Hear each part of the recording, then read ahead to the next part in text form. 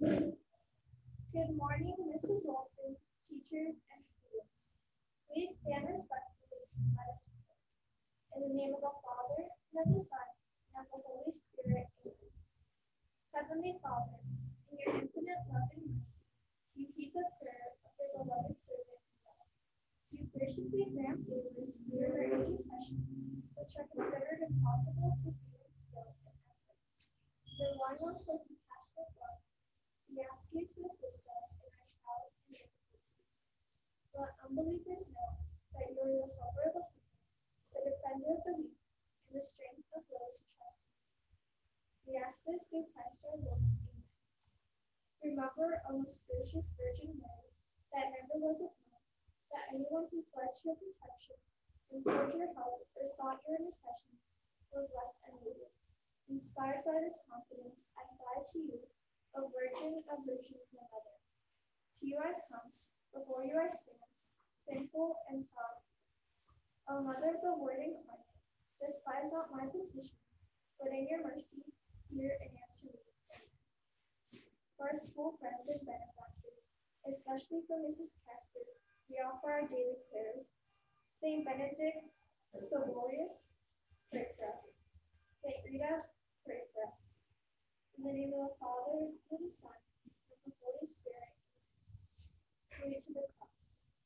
I pledge allegiance to the cross of Christ and to the church for which it stands.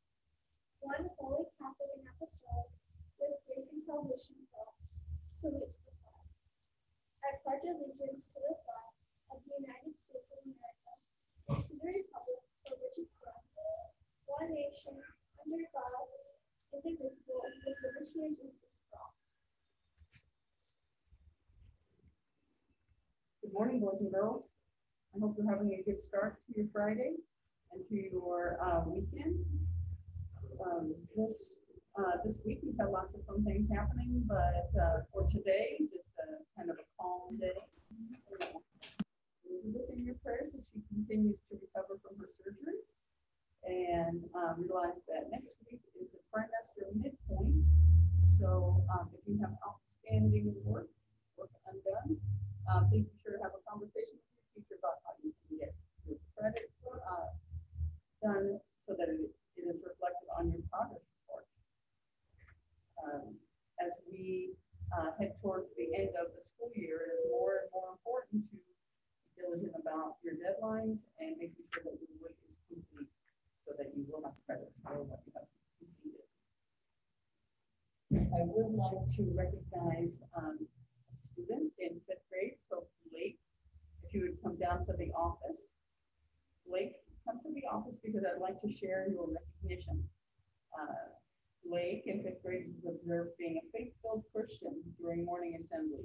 He led by example by praying clearly for all to hear.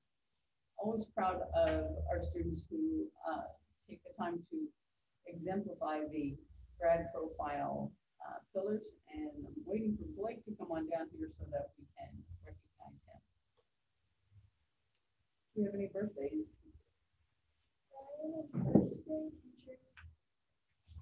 Ryan in first grade and Journey in eighth grade are celebrating birthdays today on Sunday.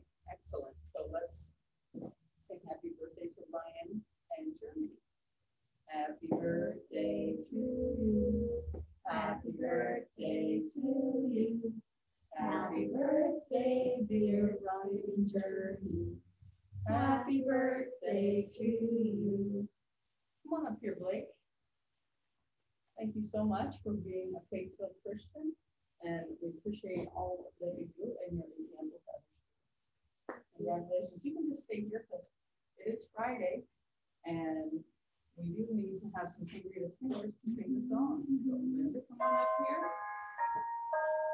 All right, so I hope in the classrooms you'll be joining in. Ready, Blake? Ready, Linda? We love St. Rita School. Oh, yes, we do. We love St. Rita School.